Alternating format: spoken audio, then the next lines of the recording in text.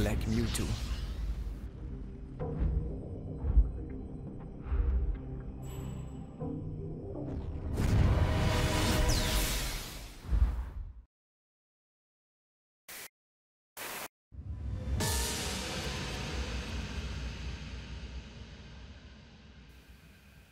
Was zur Hölle geschieht hier gerade?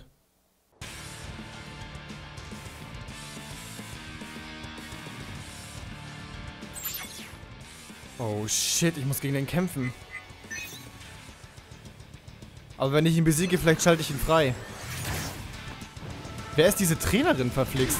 Ja, was ist das für eine Attacke? Die verfolgt mich! Der kann man doch gar nicht ausweichen! Ich habe so das Gefühl, Mega Mewtwo ist etwas overpowered, kann es sein? Ah, nein! Komm her, Mann! Der kämpft auf jeden Fall besser als alle bislang. So viel steht fest. Der wehrt auch verdammt viel ab und versucht zu kontern. Aber das kann ich auch. Was? Wieso? Hat's nicht geklappt, bitte? Hilf mir!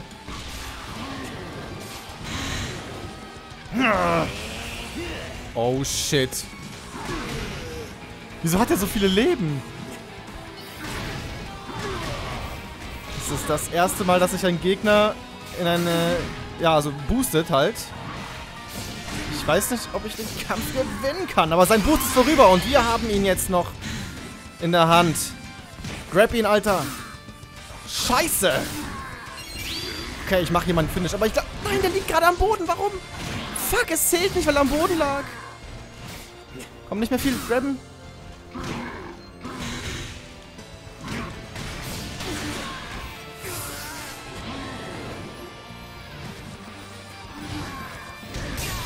Oh, what the hell?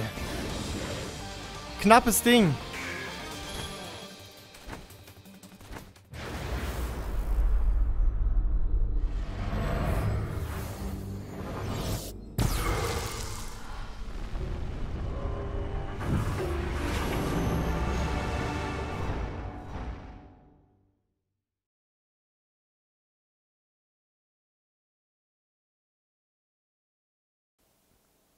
Das war doch Mewtwo, stimmt's? Obwohl es eine ganz andere Farbe hatte. Seit einer Weile gibt es Gerüchte über ein schwarzes Pokémon. Das war also Mewtwo. Das klingt ein bisschen rassistisch. Und dieses Mädchen ist seine Trainerin? Seid ihr zwei in Ordnung? So einen plötzlichen Pokémon-Angriff habe ich zum ersten Mal gesehen. Zum Glück ist nichts Schlimmes passiert. Das kam mehr als unerwartet, aber egal. Herzlichen Glückwunsch zum Erreichen von Rang C. Ich bin gespannt, wie weit du es noch bringst. Prima, jetzt kommst du in die nächste Liga. In höheren Ligen erhältst du mehr Helferteams. Besuch deine Stadt und prüf mal, was du bekommen hast. Okay, also es gibt wohl auch so eine Hauptstory nebenbei, offensichtlich. Das finde ich gut. Und wir haben ein neues Helferteam erhalten. Tragosso und Dicta sind beide Angreifer. Bei Tragosso führt einen wiederkehrenden Distanzangriff aus und Dicta stürmt auf den Gegner zu und greift von unten an. Ja, das klingt auf jeden Fall gut. Vielleicht nehmen wir die mal. Und Jirachi sowie Elfun temporäre Limitstärkung und Resonanzanstieg mittel. Bei ihm hier wehrt temporär Distanzangriffe ab, regeneriert KP schwach. Ja, also die neuen Helfer-Pokémon sind allesamt ziemlich gut. Und wir kriegen noch mehr. Glibunkel und Felinara. Bei Glibunkel ist es, bleibt stehen und greift bei Annäherung an. Also ich muss den Gegner dahin locken anscheinend. Verteidigung sinkt. Filinara setzt Reflektor ein. Temporärer Verteidigungsanstieg plus KP-Regeneration schwach. Mhm. Ja, und hier ist jetzt blaue Liga. Aber ich werde jetzt erstmal in meine Stadt gehen und die Helfer-Pokémon studieren. Und dann eben austauschen, damit wir dann andere sehen.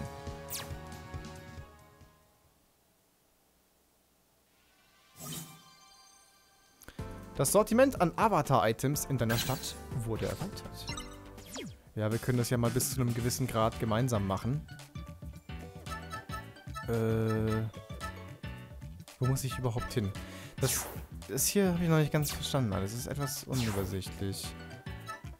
Wir können natürlich das Outfit ändern, wenn wir wollen. Ja, komm, hier, so sieht sie eigentlich ganz gut aus. Machen wir das mal. Ah, hier. Und das... Ah, jetzt verstehe ich das. Hilfe in der Not. Wirkt ab der zweiten Runde. Nach verlorener Runde winken Resonanzanstieg und volle Helfer leisten. Nach Rundensieg ist der Gewinn minimal, aber dennoch eine kleine Reserve. So, das ist das, was man standardmäßig hat. Jetzt kommt das oder das zum Einsatz. Ähm...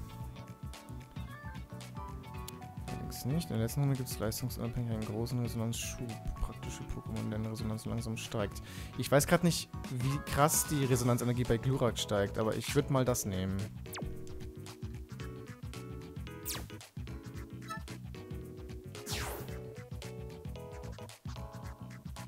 Fertigkeitenpunkte verteilen?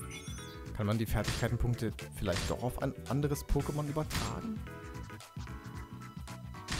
Anscheinend. Okay, nehmen wir mal als Beispiel Knackrak. Nö, ich kann ihm nichts geben. Hä? Ja, vielleicht kann man die bestehenden Punkte ändern. Ah ja, tatsächlich. Ja gut, äh, das habe ich jetzt aber nicht gewollt.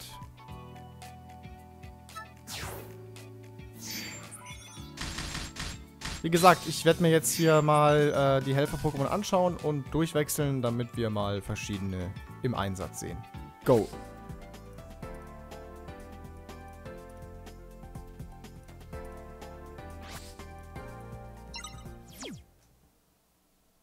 Okay, das wäre erledigt. Wir haben jetzt ein neues Helfer-Pokémon-Team. Und ich habe mich auch gleich mal ein bisschen individuell gestaltet. Äh, habe ein bisschen was an Geld für einen geileren Style ausgegeben. Habe mir jetzt den Titel Reicher Trainer gegeben. Und so weiter und so fort. Jetzt steigen wir ein in die blaue Liga. Hier gibt es 60 Teilnehmer, also nochmal 20 mehr als in der grünen Liga. Das bedeutet aber wohl, dass es auch ziemlich lang dauern wird, um nach ganz oben zu kommen. Hm. Du bist in die nächste Liga gekommen. Wie fühlt sich der erste Rangaufstieg an? Jetzt bist du kein Anfänger mehr. Hier wirst du auf wesentlich erfahrenere Gegner treffen. Bleib am Ball! Ja, bin schon gespannt. Dann legen wir mal los mit dem Liga-Match. Das ist ja noch das Einfachste. Diese Phase sollten wir auf alle Fälle überstehen. Ähm, für den ersten Kampf wähle ich Team B, Tragosso und Dicta. Weiß gar nicht, wer mein Gegner ist, aber das werden wir gleich sehen. Ah, Suiku. Ui, ui. Bin gespannt, was die schon äh, hier in der blauen Liga können. Weil, sei mal ehrlich, alle Gegner in der ersten Liga waren nix. Das waren Flachzangen. Ich nehme mal den offensiven Dicta. Also los, Suicune. Kämpfen wir! Übrigens, ich weiß jetzt, ähm, warum wir ständig KP verloren haben. Glurak hat die Attacke Flammenblitz drauf und ja, das hat halt hin und wieder mal dazu geführt, dass ich einige KP verloren habe. Wie das halt bei Flammenblitz üblich ist und das war gerade echt dumm von mir. Entschuldigung. Ich mach das aber gleich wieder gut. Komm her.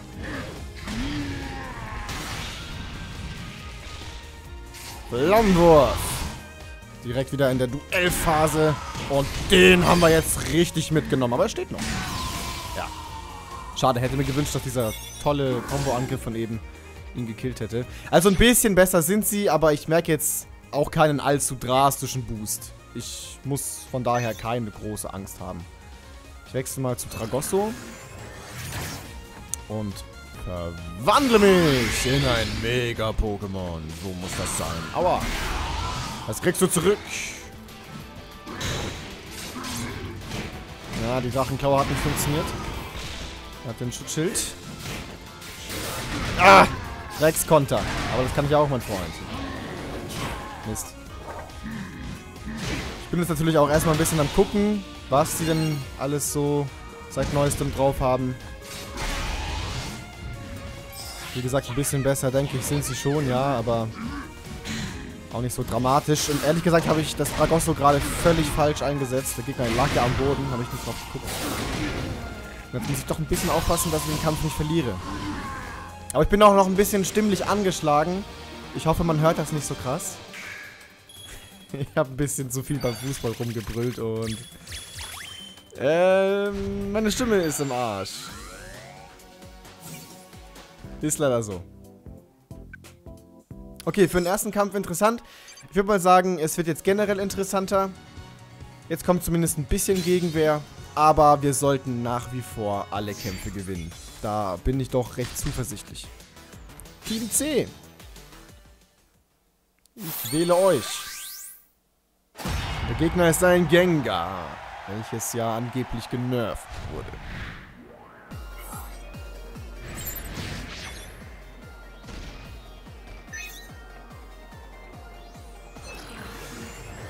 Ging denn nochmal der Geowurf-Angriff? Ach, diese scheiß Attacke, die verfolgt einen. Das mag ich gar nicht. Oh, wo bist denn du hin? Ganz so schlau, was? Flammenwurf!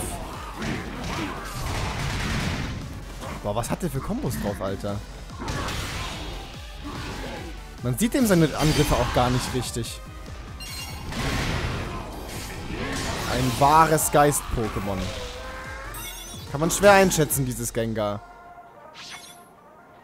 Filinara ist voll. Temporäre Verteidigungsverbesserung äh, äh, und KP-Regeneration schwach. Dann machen wir doch erstmal hier die Mega-Entwicklung. Und den Verfolgungsangriff.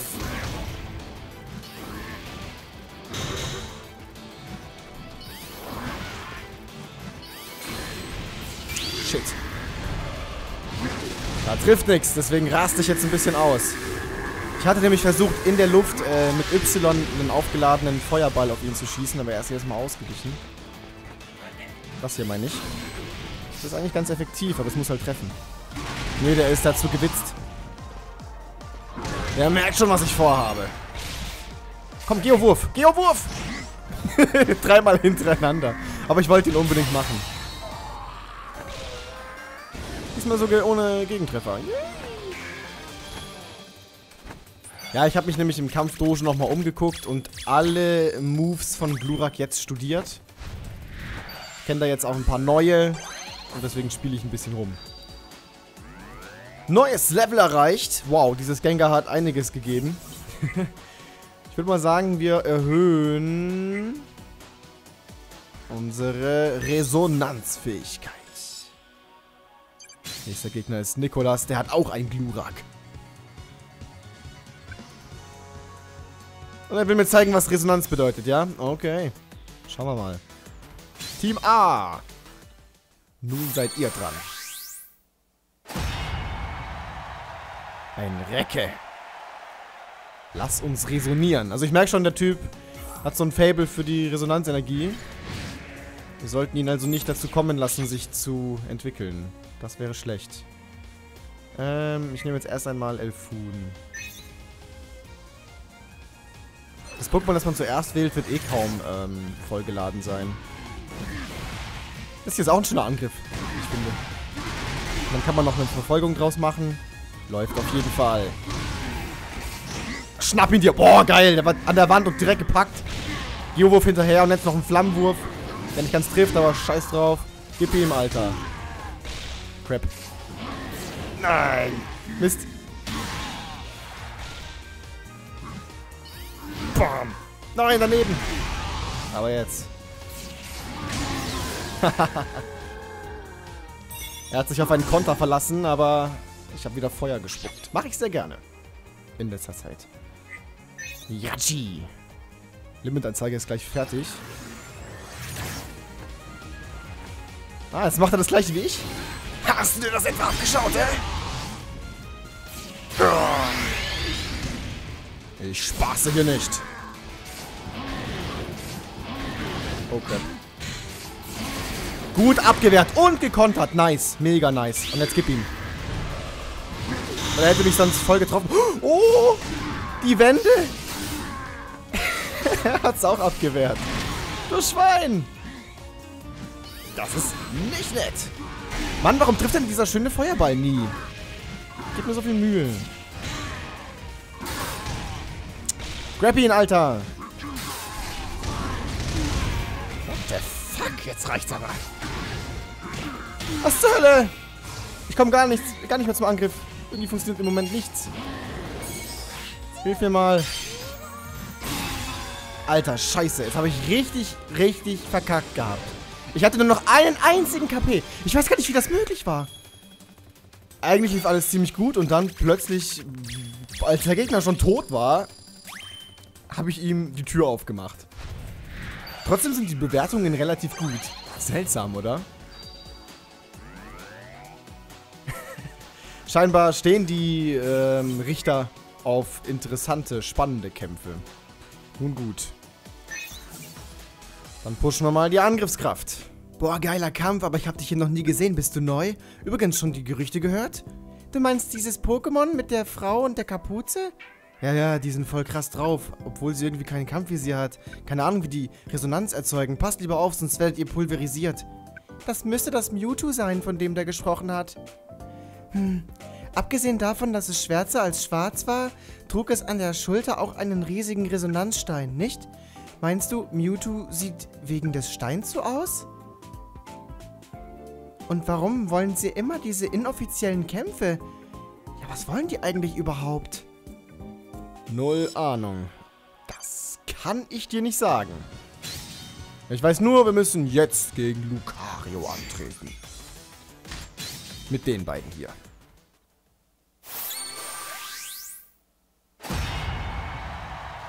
Der Alois ist mein Gegner. Talent des Jahrzehnts. Mhm. Überzeugt ist der Gute ja auf jeden Fall schon mal von sich. Dann schauen wir mal, was dahinter steckt. Oh nein, so nicht, Kumpel.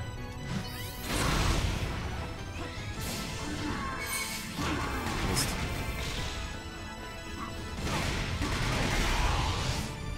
Sehr schön.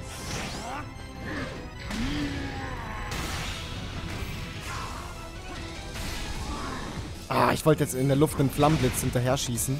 Das wäre halt äh, eine nice Combo gewesen. Hat leider nicht geklappt. Auch mein Konter hat zu lange zum Aufladen gebraucht. Ich glaube, ich könnte meine Helfer gebrauchen. Aber da lag der Gegner schon wieder am Boden, genau wie letztes Mal. Verdammte Axt. Mann! Gibt's doch nicht! Gib ihm! Nein! Der tritt daneben.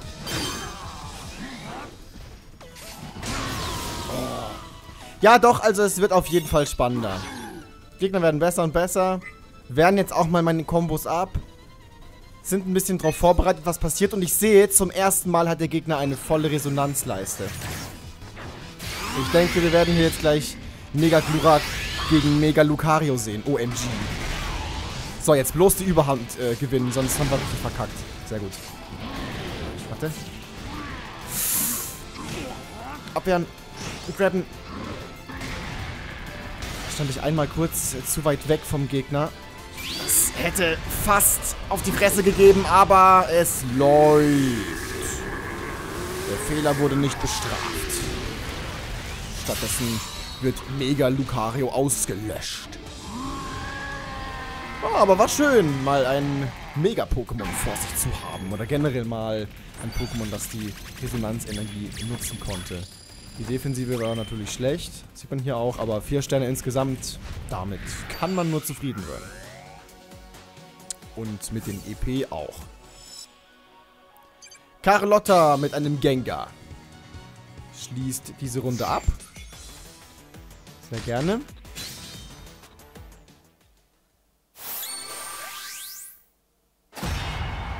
Sieht aus wie ein Mann. Aufrichtiger Trainer. Hm. Und habt ihr gelesen? Die Statusnachricht. Mann, ich bin aufgeregt. War das irgendwie so ein bisschen gewollt, oder? Naja, wie dem auch sei. Wir nehmen für die Nara. Und wollen natürlich auch diesen Kampf hier gewinnen, aber Vorsicht, ja. Eigentlich war ich genau darauf vorbereitet, habe mich trotzdem treffen lassen. Das ist so fies. Gengar kann von weitem die Duellphase auslösen, wenn es will. Mit dieser dreckigen Attacke da. So, Flammenblitz. Schnapp ihn dir. Ah, okay. Wollten eigentlich auch was anderes machen. Hm. Schnell, Wurf! Ich brauche Hilfe. Er holt nämlich jetzt gerade mächtig auf. Na komm, komm, komm. Lauf rein ins Inferno. Ha! Technisch schlecht. Aber, äh, Sieg ist Sieg. Glibunkel hatten wir, glaube ich, noch gar nicht genutzt. Der ist äh, dazu da, um... Ja, spring halt, Mann. Oh, du wärst doch alles ab. Ja, geil. Glibunkel ist dazu da, um ihn zu positionieren auf dem Feld und dann... Crap. Äh, schnappt er sich den Gegner, wenn er in der Nähe ist. Mann, dieses verflixte Gengar, das weicht so häufig meine Attacken aus. Indem es sich duckt. Wie zur Hölle macht es das?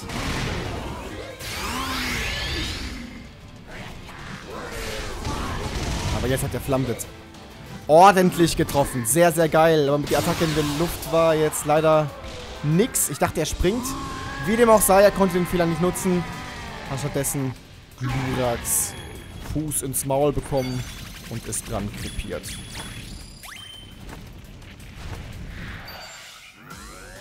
Ja, jetzt kommt halt auch so ein bisschen das Taktieren mit rein. Vorausahnen, sowohl auf gegnerischer Seite als auch bei mir. Und dann schleichen sich automatisch mehr Fehler ein, ist klar. Deswegen tun wir was für die Verteidigung.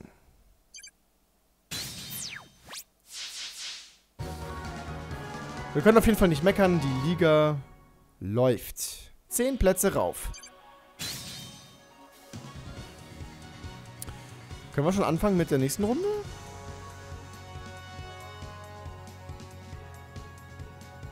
Ja, ich denke schon. Ein, zwei Kämpfe schaffen wir noch. Eine Machomai ist mein Gegner. Ich frage mich allerdings, warum so häufig die gleichen Pokémon kommen.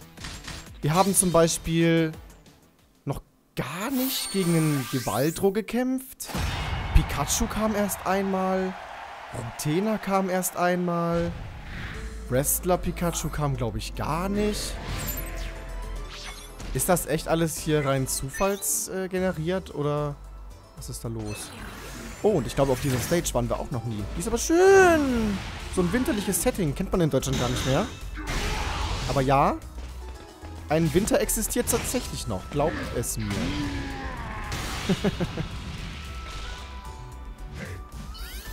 Bam. Nein, nein, nein, nein, nein, Kumpel. So nicht, so nicht. Nein. Oh.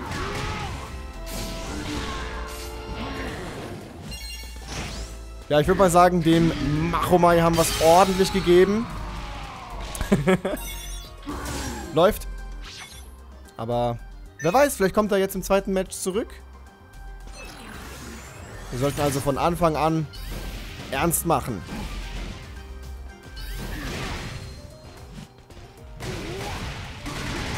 Schön. Jetzt pack aus.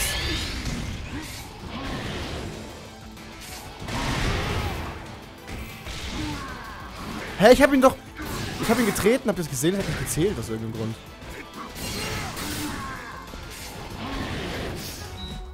Nein, scheiße. Jetzt wollte ich gerade ähm, die Attacke machen. Hat nicht mehr gereicht. Gerade war die Negative zu Ende. Naja, egal. Schön. Mega nice. Ein Treffer noch und er ist down. So muss es sein. Ja, ich versuche auch immer ein bisschen äh, mit den Attacken zu variieren damit die Kämpfe nicht so gleich ausschauen. Und das äh, kommt wohl auch bei den Richtern gut an. Level up!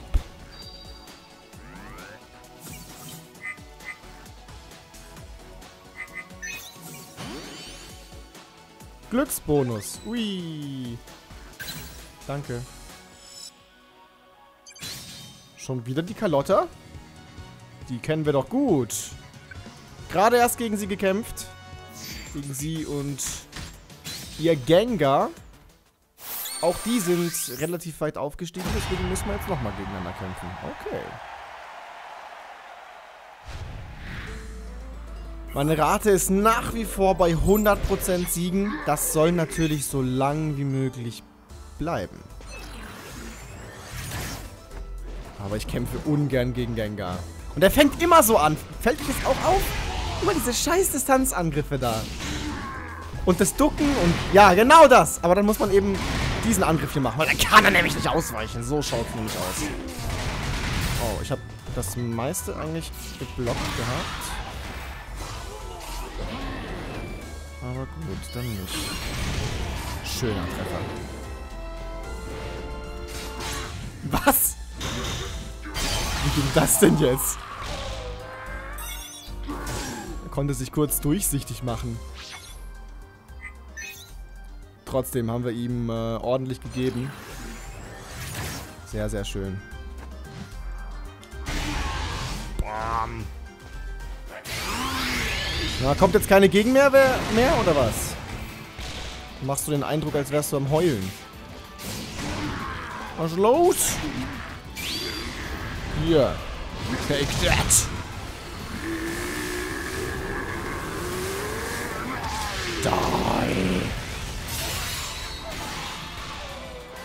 Geil.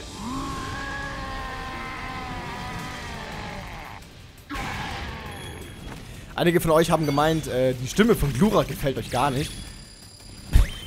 ja, es ist ein bisschen übertrieben, okay. Aber das ist, glaube ich, bei solchen Spielen normal. Ich kenne das ehrlich gesagt nicht anders. Und so unpassend finde ich es jetzt nicht. Es schreit vielleicht ein bisschen zu viel rum, das ja. Aber insgesamt mag ich sie. Und auch dieser Part hat mir wieder, wieder äh, mega viel Spaß gemacht. Ich hoffe, euch geht's ähnlich. Ihr könnt liken, kommentieren und all das Gedöns. Schon bald geht's weiter mit Pokémon Tekken.